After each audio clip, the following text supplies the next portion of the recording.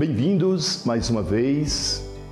Hoje daremos continuidade à reflexão sobre a igreja profética, ousada, insistente e persistente, que está ao lado dos nossos irmãos e irmãs que vivem como refugiados em diversos campos na Etiópia.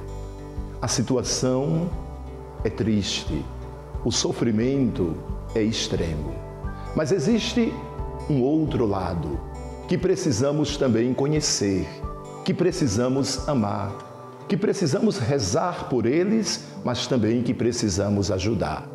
E é isto que nós estamos, juntamente com você, também fazendo. Não vamos cair no desespero, não vamos cair naquela situação de que não existe saída. A saída é o amor, a solidariedade, a nossa colaboração. Vamos neste programa aprofundar e conhecer bem melhor tudo isto. A maioria são crianças, crianças e jovens. Os idosos são poucos. Talvez ainda estejam no Sudão ainda devem vir.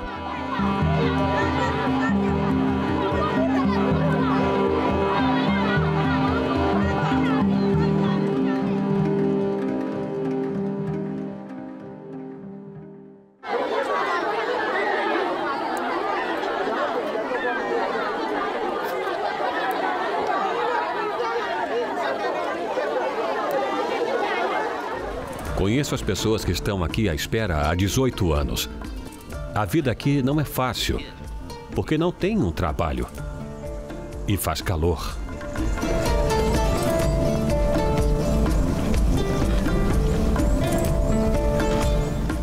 Os jovens, eles estão esperando para ir embora. Muitos vão do Sudão para a Líbia. Eles vão para o Mediterrâneo e estão sempre em perigo. Com crianças, não é possível andar por estes desertos. Outros são muito idosos, não podem ir. E o governo não dá vistos para eles. Ficam aqui até morrerem. Os que chegam à Europa nos ligam para contar como é a vida na Líbia. É horrível. As pessoas não são tratadas como seres humanos. Alguns nos contaram que, na Líbia, chegam a vender pessoas por alguns dólares para as obrigar a trabalhar na agricultura.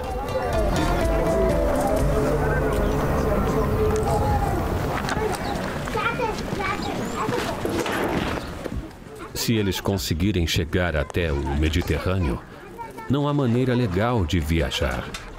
Só barcos de plástico. Se o mar estiver bravo, sabe quantos ficam no mar? É terrível. É muito triste ver é, tanta gente morrendo no Mediterrâneo e também no deserto. Eu não sei que distância é daqui até a Líbia. Quantas vezes os traficantes os fazem pagar. Eu não sei quantos são violentados. Não sabemos quantos sofrem. É realmente um tempo muito, muito difícil para o povo.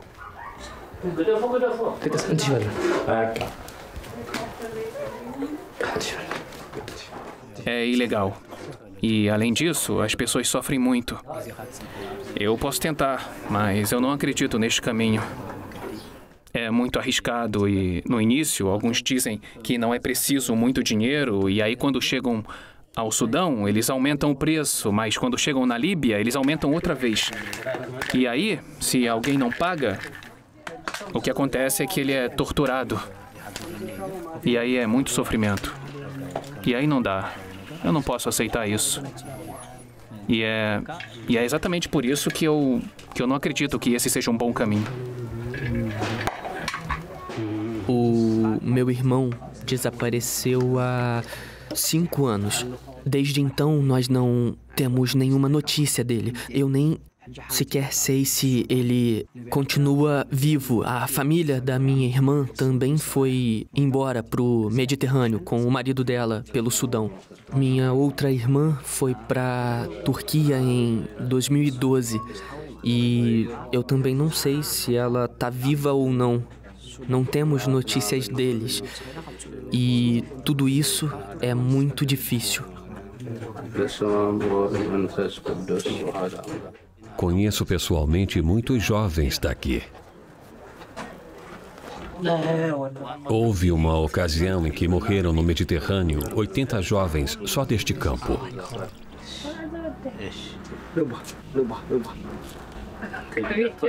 Todos choram por eles, pelas mães, pais, amigos, irmãos, irmãs. É muito doloroso. Nós temos raiva de, de nós mesmos por não poder fazer nada. Está tudo guardado aqui.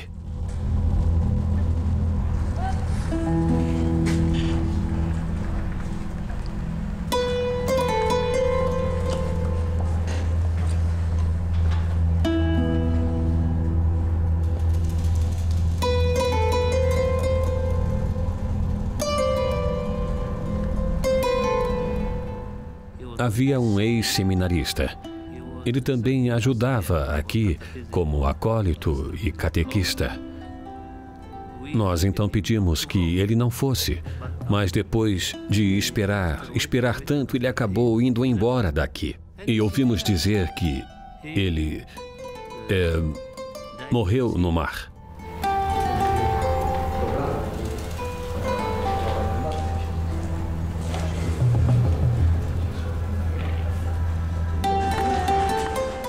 Conhecemos outros casos. Por isso é difícil para nós. Muito difícil. Nós pedimos, nós imploramos, aconselhamos eles para que não escolham a maneira ilegal. Nós dizemos: esperem. Mas os jovens não têm paciência e o clima aqui durante muito tempo fica bastante opressivo. Então, sem emprego, não podem ficar.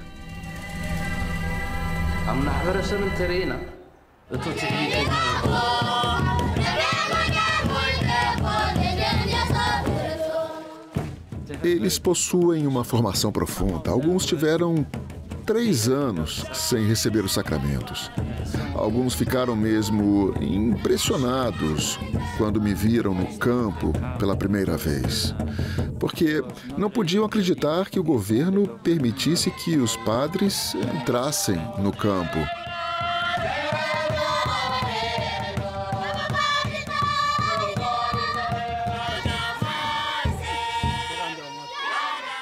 Tudo isto aconteceu, mas temos de louvar o nosso Deus. É Deus quem ajuda a todos. Por isso precisamos rezar aqui no campo de refugiados de Jelly. Precisamos ajudar e orar aqui e ter um padre e também precisamos de uma igreja.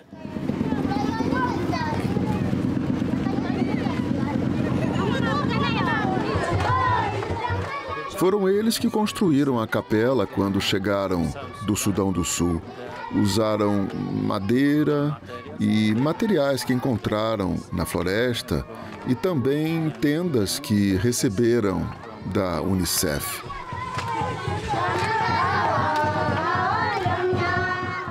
É difícil porque as tendas não são suficientes para todos. Quando há missas aos domingos, muitas pessoas ficam do lado de fora, principalmente crianças, porque não há espaço suficiente. É muita gente, muito cansativo ficar três horas nesta tenda.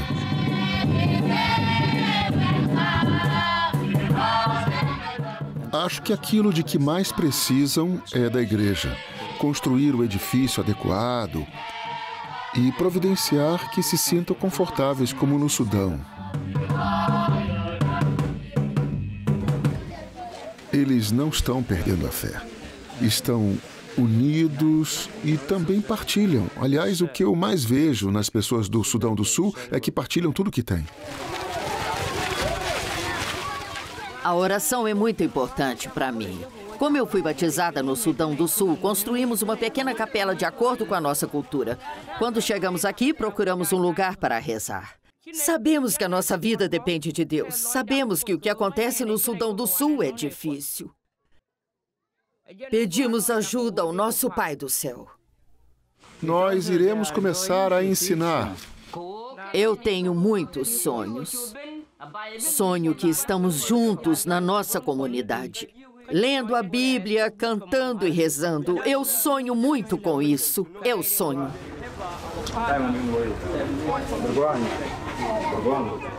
Trabalho aqui como catequista. Eu sei pouca coisa, mas eu preciso ensinar as pessoas aqui, nessa terra. Eu gostaria de ser padre. Eu amo a palavra de Deus. Eu quero ensinar a nossa comunidade a palavra de Deus. É disso que eu gosto.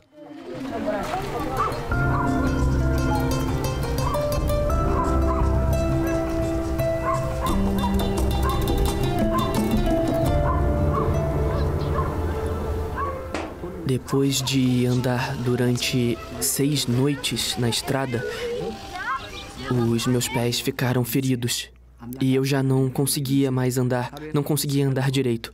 Eu estava sempre rezando. Deus me ajudava, Deus estava olhando por mim. Quando eu saí da Eritreia, eu trouxe a Bíblia comigo. Deus não se esqueceu de mim. Eu estou muito feliz de ter encontrado aqui pessoas de fé e uma igreja. Deus estava à minha espera aqui. Eu estou muito feliz. Os jovens deviam se sentir felizes e deviam acreditar em Deus. O homem existe hoje, mas amanhã pode já não existir. E a fé é o que mais importa. Há jovens por aqui sem mãe nem pai, sem irmãs e irmãos. Nós acompanhamos estes jovens. A igreja está fazendo o que pode. Nós rezamos e aguardamos para que aconteça a paz e essas pessoas regressem ao seu país.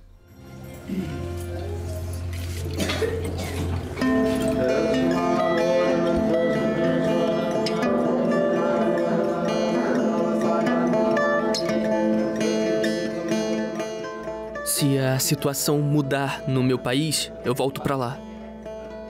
Se o governo se tornar uma democracia, eu gostaria de voltar para para Eritreia, meu país, e investir em alguma coisa. Eu amo a minha família e eu amo o meu país. Nós temos uma nação muito bela.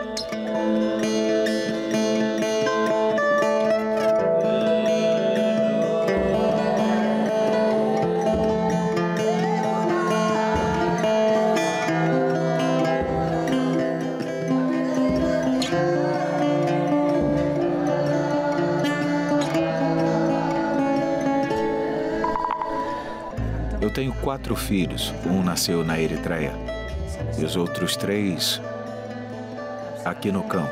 Eu não posso voltar para casa porque a situação ainda não mudou. Eu continuo confuso, eu não sei o que fazer.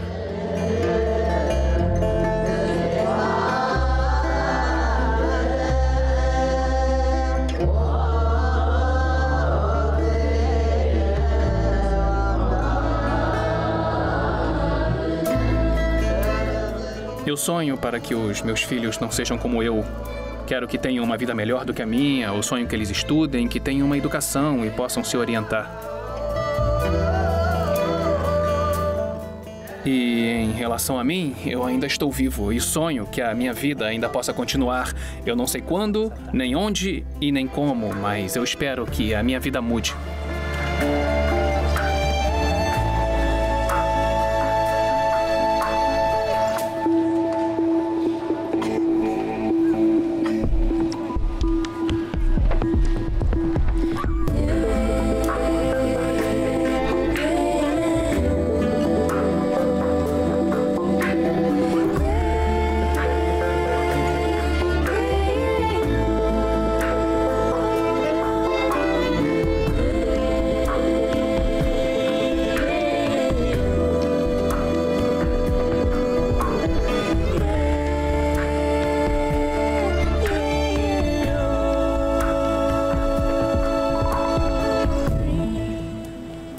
A Etiópia acolhe mais de 900 mil refugiados, a maioria da Eritreia, do Sudão do Sul e da Somália. A falta de esperança e perspectivas de futuro leva muitos deles a fugirem. Nos últimos 30 anos, mais de 38 mil pessoas morreram a caminho da Europa. Os padres nos campos de refugiados procuram lhes dar esperança e fortalecer a sua fé.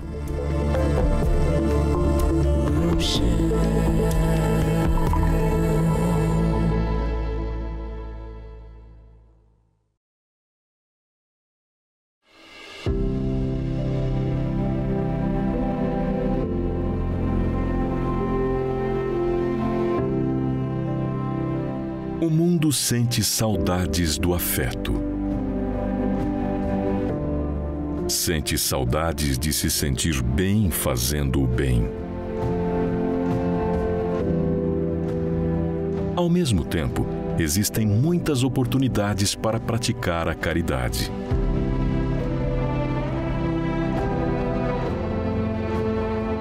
E desde 1947 existe uma escola de amor a ACN. Uma ponte de amor entre os que querem ajudar e os que precisam de ajuda.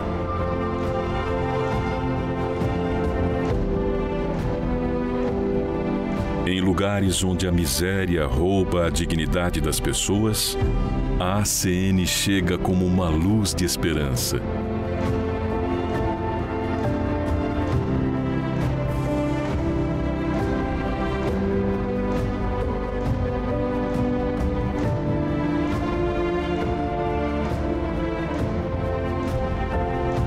lugares onde a guerra levou tudo, a ACN renova as pessoas por meio do amor e da reconciliação.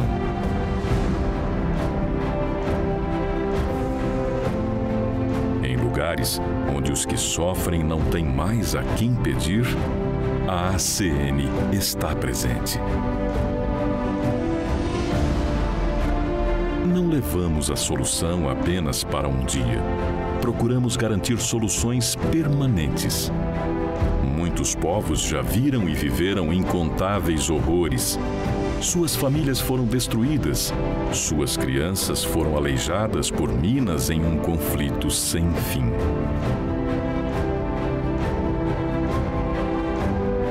Eu me lembro de todas as situações. Eu, eu, eu não gosto muito de lembrar, eu vi a morte de crianças miseráveis. Duas crianças morreram. Duas crianças acabaram morrendo conosco porque elas não tinham comido. E quando eu tentei dar o leite para elas, elas não conseguiram engolir. Eram gêmeos. Então, quando nós conseguimos finalmente chegar ao hospital, elas morreram foi difícil, foi muito difícil para mim no começo, mas agora eu sinto que é aqui onde eu pertenço, é onde eu quero trabalhar. Nesses lugares em que ainda hoje muitos sofrem fome, escravidão, perseguição, maus tratos e abandono, onde a crueldade levou tudo, deixando apenas abismos de miséria, a ACN ajuda a criar pontes de amor e misericórdia. A ACN ajuda a reconstruir a vida a partir do amor, do perdão e da esperança. Mas precisamos de pessoas como você para continuar. Muitos colocam suas necessidades de lado em nome do bem comum. São essas pessoas que são apoiadas pela ACN. A comunidade mais distante se encontra 280 quilômetros mata adentro, ou seja, 26 horas de barco se fosse para viajar sem parar. Já passamos neste barco um momento de apuros, quando até como motorista já pensamos que seríamos nossos últimos minutos da vida, né? O que nos impulsiona é o amor ao próximo, não importa as distâncias ou as dificuldades. Muitos aguardam sua ajuda. Descubra que ainda hoje há mais alegria em dar do que em receber. Sua doação transforma vidas. Experimente essa alegria, que não está em nenhum bem material ou conquista. yo no tengo en cuenta lo que dan, sea mucho o poco. Tengo en cuenta el amor con el que lo dan.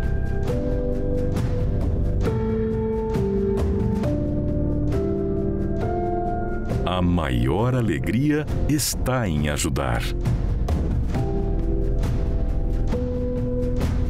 Acesse o site acn.org.br ou ligue para 0800 77 099 27.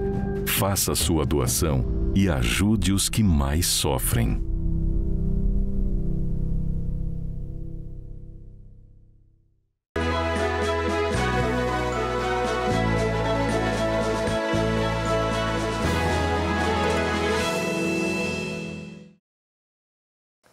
Como podemos acompanhar, e eu creio que assim como meu coração encheu-se de alegria, como os nossos olhos também começam a brilhar a partir das pequenas iniciativas, mas que são grandes gestos de amor. Vocês puderam acompanhar o esforço dos missionários de buscar junto ao governo local como realizar, como estar presente a igreja, rezando, orientando, oferecendo a catequese.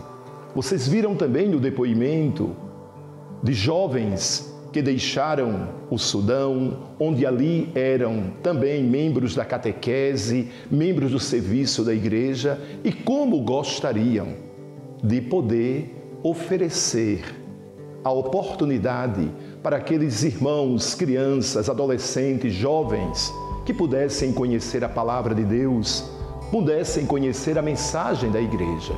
Mas tudo isso é graça a tanto, mas tanto esforço. E aí também chega o trabalho da ACN com a tua colaboração, com a tua ajuda. É por demais importante. Portanto, se você já colabora conosco. Continua acreditando que existe um outro lado, existe uma esperança, é o amor, é a solidariedade, é a entrega. Mas você que ainda não colabora, não contribui, não conhecia, entre em contato conosco, acn.org.br ou por meio do telefone 0800 77 099 27. Você vai conhecer este outro lado da igreja que talvez você não conheça, mas que precisa conhecer, amar, seguir e servir. Por isso, eu coloco tua vida, coloco a minha vida, coloco a vida de todos os missionários ao lado, junto com todos aqueles que se doam e se entregam. Reza comigo, Senhor nosso Deus. Esta igreja é a expressão do teu amor. Não podemos de forma alguma nos acostumarmos que a dor e o sofrimento do outro é simplesmente dele ou deles. É também o meu sofrimento, porque se abraço o Evangelho, toda esta realidade toca o meu coração. Infunde o teu amor em cada um de nós, para que sejamos também sensíveis e atentos, prontos para rezar, para amar, para servir e colaborar. Venha sobre todos nós a tua bênção, a tua bênção que nos impele para a missão. Em nome do Pai, do Filho e do Espírito Santo. Amém. A Igreja é missão. A ACN é missão. Você é igreja e pode também viver esta missão junto com todos nós.